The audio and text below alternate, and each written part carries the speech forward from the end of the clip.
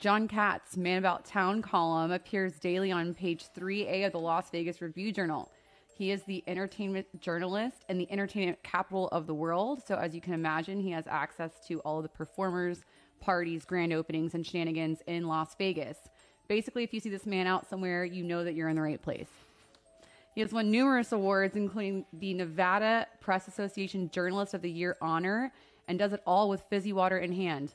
Ladies and gentlemen, Neon Confidential's very first podcast guest, Johnny Kats.